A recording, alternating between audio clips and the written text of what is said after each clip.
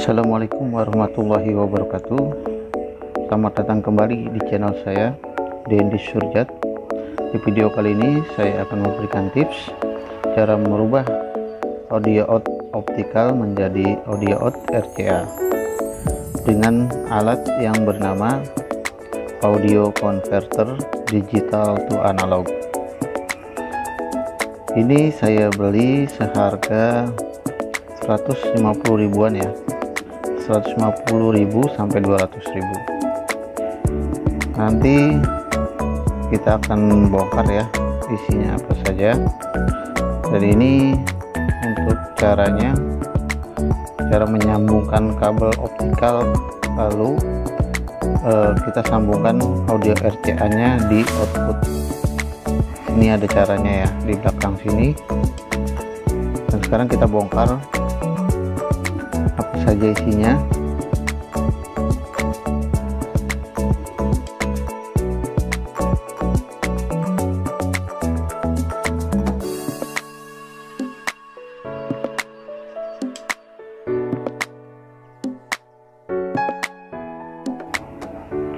Oke guys, isinya hanya ada konverter dan adaptor.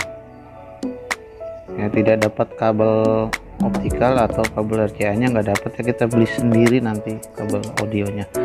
Nah ini ada koaksial dan optikal. Nanti kita gunakan optikal. Karena koaksial itu udah jarang ya di LED TV rata-rata sudah pakai RCA atau optikal.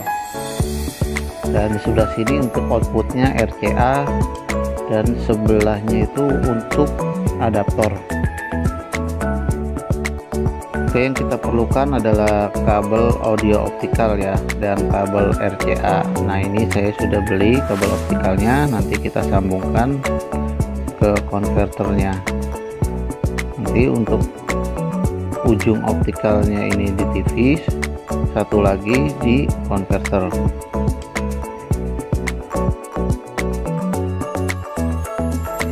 Untuk kabel optikalnya kita sambung di sini ya Oke seperti ini caranya. Sudah saya sambung. Nanti tinggal sambungkan outputnya pakai kabel RCA Oke sekarang kita sambungkan adaptornya guys. Jadi kita uh, colok ke listrik dulu baru ini bisa berfungsi untuk optikalnya biasanya di LED itu adanya di sebelah eh, kanan atau yang kelihatan ada infrarednya ya. Itu berarti audio optikal. Kita colok di sini ya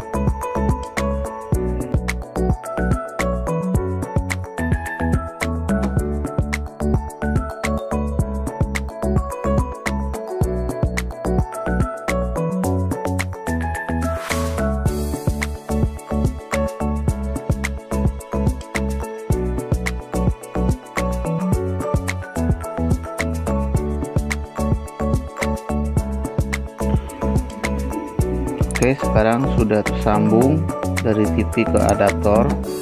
Oh maaf dari TV ke konverter.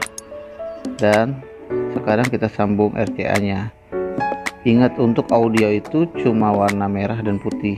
Kuning itu untuk video. Jadi hanya kita perlukan dua kabel saja.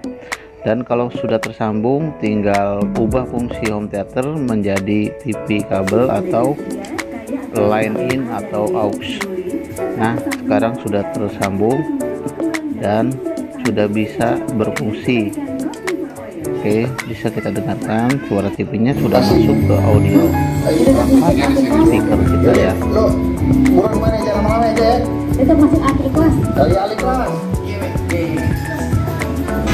Jika terjadi grossing pada perangkat audio anda anda harus ubah pengaturan keluaran suara TV Anda menjadi optikal lalu masuk ke pengaturan ahli format audio Dolby dirubah ke PCM Oke teman-teman itu saja tips dari saya. Semoga bermanfaat dan menambah wawasan baru buat kalian semua. Selamat mencoba semoga berhasil. Wassalamualaikum warahmatullahi wabarakatuh